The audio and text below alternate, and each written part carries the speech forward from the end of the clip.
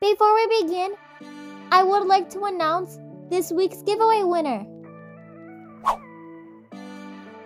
Congratulations! New giveaway starts tomorrow. Stay tuned. In today's video, I will be showing you codes. You can use these codes in Berry Avenue, Bloxburg, and in any Roblox game that allows you to use codes. But before we start, don't forget to like and subscribe.